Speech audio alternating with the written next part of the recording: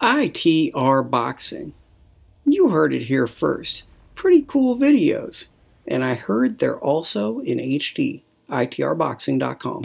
Um, great fighter, man. He's one of the best fighters I've seen in a long time, especially coming out of out of the, um, the amateur circuit. He's special. Ugly as a motherfucker.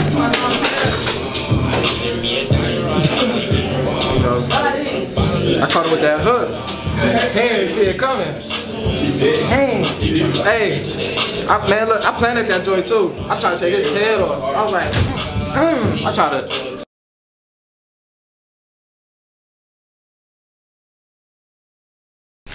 Uh, man, I started when I was seven years old. Um, my dad put me in boxing. You know, I used to fight a lot in school and just fight a lot outside, really. And he was gonna put me in when I was eight or nine, but he put me in early just because I used to fight a lot. And it's more of a family thing too. My cousins and uncles on my dad's side was boxers. Yeah! About to fuck some shit up today, homeboy. Yes, sir.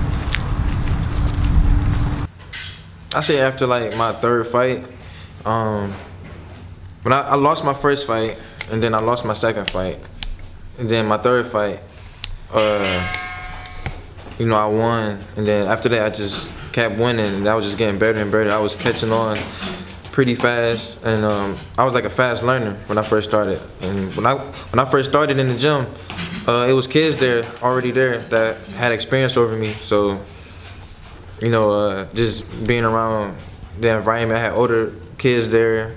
Uh, Raynell Williams, uh, 2008 Olympian, he was there. Just watching them and just learning from them, I just picked up a lot. And then going to going to tournaments like Silver Gloves, JOs at a young age, you know, I just, you know, I had a real good um, act for it. Right now, I'm I'm at the uh, last chance qualifiers for the um, 2020 uh, Olympic trials. Um, right now, I'm in the quarterfinals, uh, fighting today. Um, then tomorrow, tomorrow I got uh, semifinals. Then Saturday, I got the finals. Then you know, making it to the 2020 trials. He one of the best in the country. What's this? One of the best in the world. In the world. But yeah, you know the Olympic trials is in December, so right after this, I'll be you know back in the gym getting ready for that. Um, well, I was supposed to go to the Western trials in uh in March, but what happened was they um I ended up going to the Pan American Games, so I couldn't I wasn't able to go to that. And then the Eastern trials, I had just came home from uh uh World Championships, so I mean things didn't really work out right at uh, Eastern trials. I didn't make weight, but um yeah, so now I'm here at the last chance. Uh, I mean, I mean it's it's horrible, man. Where I'm from, man, like. I mean, it's real hard to make it out of uh, Cleveland, Cleveland, Ohio. It's like real hard to, you know, if you want to be successful, man, you gotta pretty much, anything you want to do, you pretty much gotta like separate yourself from from Cleveland, really, man. If you want to, if you want to stay focused and you know dedicated and stuff, you gotta you gotta stay out the way, really, and just take take care of what you gotta do. My dad, man, he he been on me since I first started. Like, it's been times I wanted to quit. And you know, he just, you know, he been there to like pick me up and stuff. You know, it's been, it's a lot of tournaments, man, that I missed because we couldn't afford to go. And you know, I wanted to quit and stuff like that. So, you know, he just always been there to, to keep me motivated. Yeah, man, it's, it's pretty tough, man. Like you gotta, like in amateur boxing, you gotta have money, man, for the tournaments. And it's really like a, it's really like a team. It's really like a team thing. So like you gotta like sometimes you gotta depend on your coach, and you know when I when I when I was coming up, when I was coming up, uh, my coach was uh, Clint Martin. He had passed away a couple years ago, but um, we used to have like this. We used to have like this system where like all the parents just chip in for like the hotels and food and stuff, so that way we can afford to go to the different tournaments. But um, but yeah, like it's been certain tournaments, man. Like you know, like it's been times I was like the only kid in the gym, still you know, still training and stuff like that. So I couldn't go to tournaments by myself. So I had to like, me and my dad had to come out of our pockets to um, go to like national, uh, you know, go to ringside or go to the PALs, just any, you know, tournaments that uh, we couldn't go to as a team. Yeah, and it was like it was real tough, man, coming up with the money.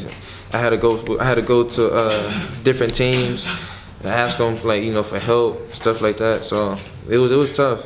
But then um, my I, I won my first uh, my, I won my first belt at uh, Ringside 2010, and that was the first tournament um, that I went with another team uh, with. So uh, it was tough, man, coming up with the money, man. Like we, man, we was you know struggling every day, man, coming up with the money, man. Like just finding ways to come up with the money, and we right at the last second, we uh, we was able we was able to go to it. I got my first belt there. Then the next year, did the same thing. Got got my second belt there. Um, yeah, then silver gloves. I made it to silver gloves nationals like was it 2012 I think or 2011 and we, we couldn't afford to go. I, I think I was, the, I was the only person that made it to nationals, I think, and we couldn't afford to go, so I had to miss that. And then uh, that next year was my last Silver Gloves that I went to, and I lost in the nationals against uh, Danny Gonzalez, and that was my last Silver Gloves. Um, I guess winning my first gold medal um, when I was on the youth team.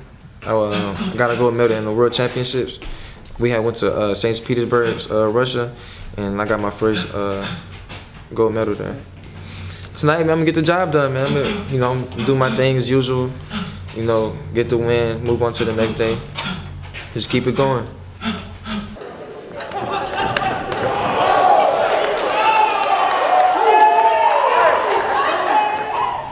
I mean, I just wanna just really just you know get paid really and man just take care of my family you know just be successful uh, uh, thanks for supporting me uh, tune in and i'm gonna bring home that gold medal